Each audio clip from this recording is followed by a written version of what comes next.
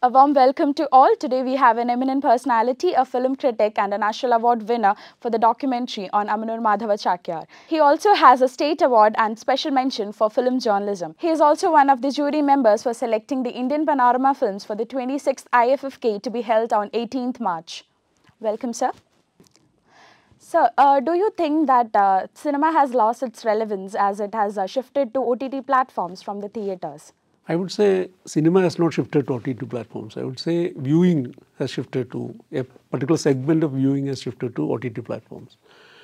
Because basically because COVID situation created, you know, a big hurdle for cinema in the sense it can't be shown in the public places or in theaters. People couldn't gather together to watch films. So films began to be shown in OTT platforms, and you know a lot of films were released during the last two years through OTT platforms. But as, as far as cinema is concerned, I think cinema's, you know, uh, basic characteristic is that of being public. Publicness of cinema is what makes it most magical, where people gather together in a particular place and watch big images on the screen in the dark, sitting in the dark together and watching you know, big images projected onto the screen. That is, I think, that is what cinema is actually. That is the magic of cinema. And if you and through time, actually, cinema has also, you know, through developments in technology, the viewing of cinema has actually shifted from uh, the big screen to television to computer to mobiles. So we are living in the supposed to be living in the age of fourth screen, where you're watching your films on tablet or mobile phones, small screens. And you know, actually, if you compare the experience of watching a film in a theater and on any kind of personal device or home theater or whatever, all these domesticated personal spaces, the experience is totally different. The magic of cinema, uh, watching cinema in a theater has not been substituted by any of these technologies. So I think that still exists, though viewing patterns have changed. And these developments, whether it, uh, whether it, when cinema migrated to television and later to OTT platforms and other devices, actually expands uh, the viewership of cinema. A new segment of viewership is created, and cinema remains the same. I think the magic of cinema is in the big screen, theatre public experience.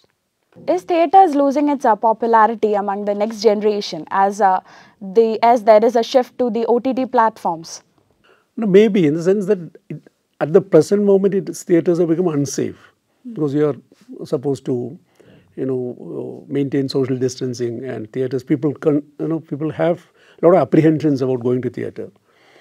But once that is over, I think people will come back to theatres because, as I said, the experience of watching cinema in theater is you know unsubstitutable. Like it can't be substituted by any other thing. The magic of cinema for instance watching a film like avatar or interstellar or watching a, a tarkovsky film on theater in on a big screen is totally different. So i think that magic still remains. And as far as that magic remains people will come back to theaters. Film criticism and uh, critical writing has been popular as it was before uh, 15 20 years. Uh, what is your say on that?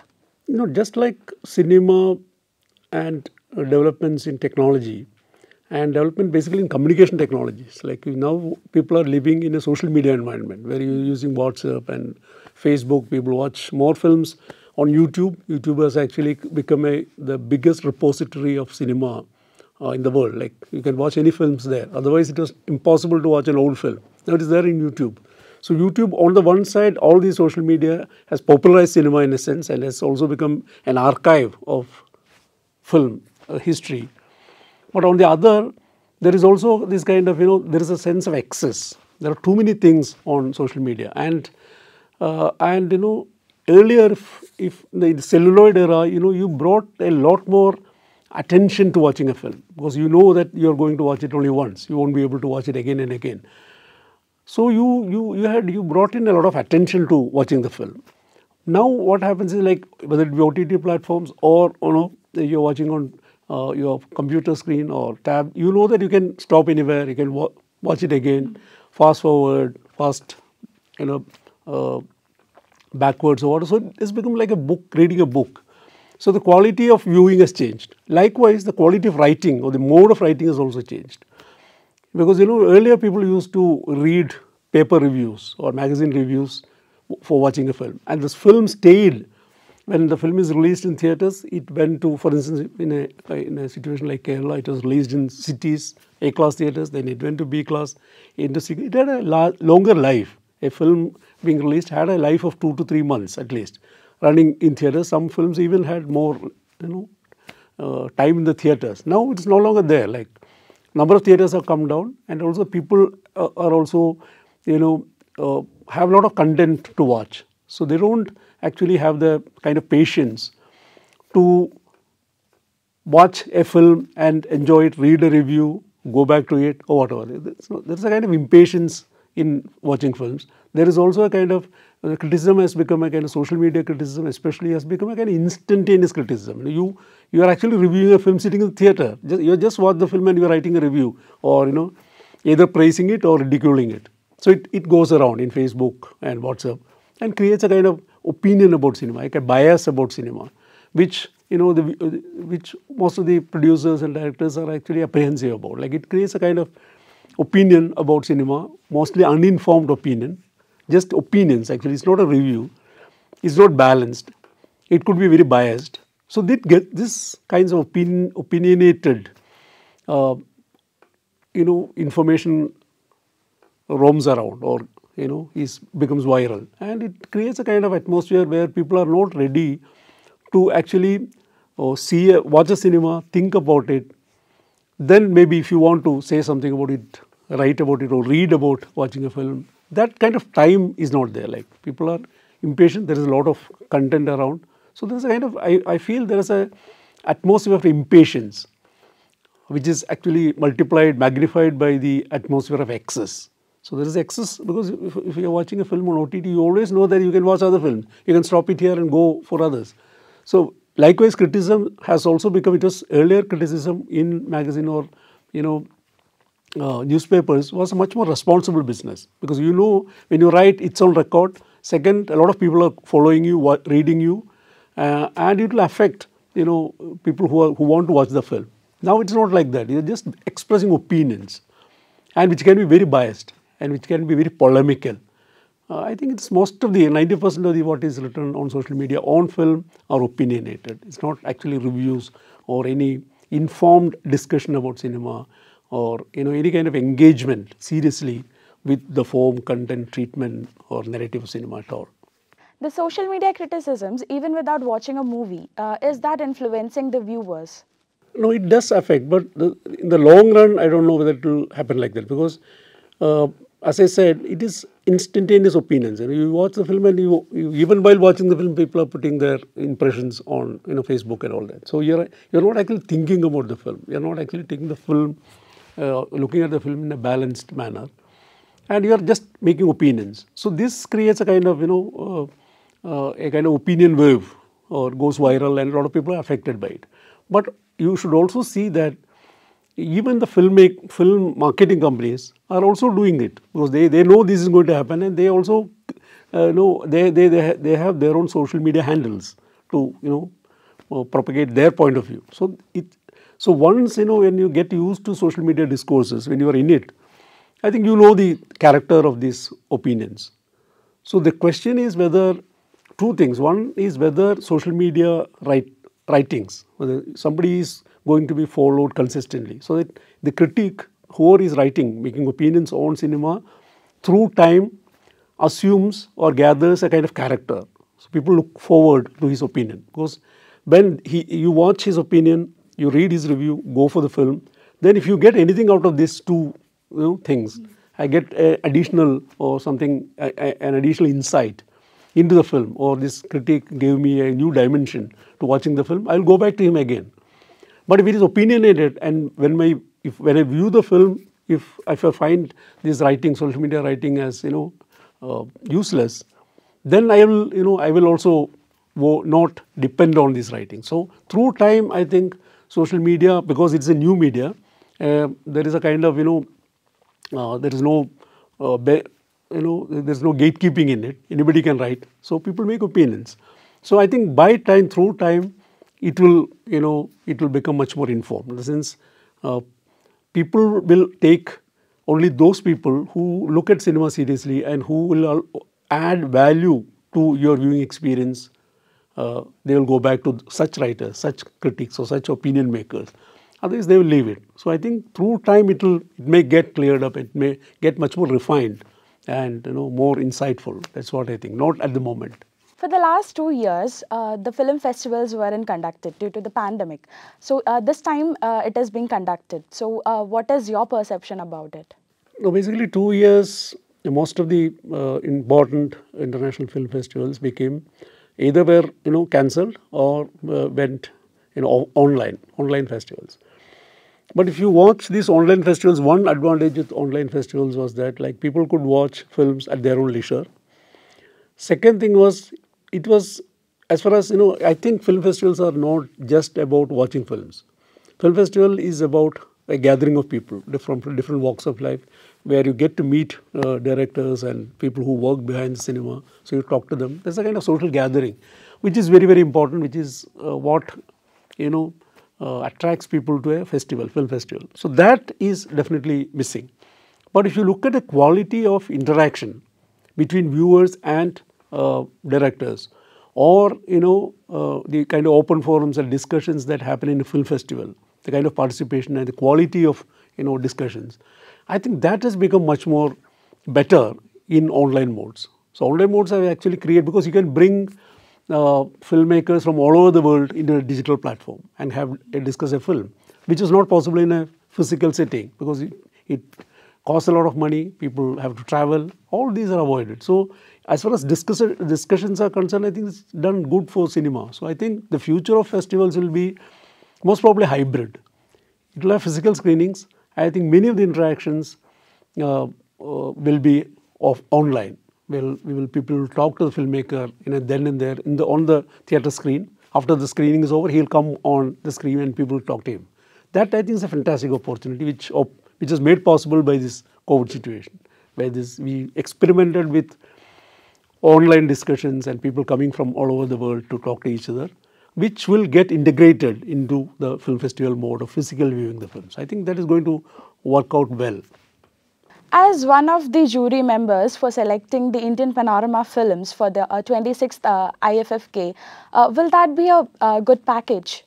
Yeah, Indian cinema uh, for the last few years have been doing really well. A lot of very interesting films have come up, especially from, uh, you know, you had a lot of good films from Marathi and also a lot of very interesting films from Northeast, like Manipur, Assam, Meghalaya. All those places are making a lot of new films, which actually, if you look at post-independence film history, you won't find them at all. Like Assam, very few filmmakers like Manipur, Assam, uh, and all that. Now you have a lot of films from there, and also uh, you'll find a lot of films dealing with uh, very important social issues like displacement, caste, uh, urbanization. All these issues are actually seriously dealt with by these films. They are also actually they also work with uh, totally different kind of narrative styles. Uh, there are a lot of films which uh, where which have you know which works with long takes and durations. For instance, there is one film called uh, Life is Suffering and Death is Liberation, which is a very interesting film, uh, which actually nothing happens, but it's a huge cinematic experience. Likewise, this Pebbles Koozhangal from Tamil is there. A lot of films like that. There is films Pedro from Kannada.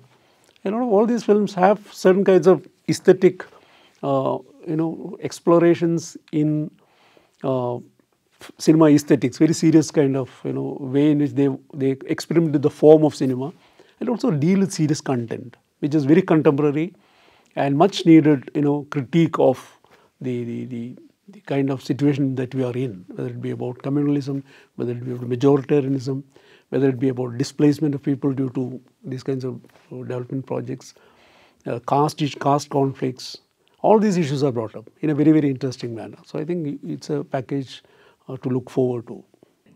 Movies few years back and now, uh, how do you look on to that uh, difference? No, as I said, like what has actually changed, radically changed the form and content of cinema, the look and feel of cinema is the shift from analog to digital.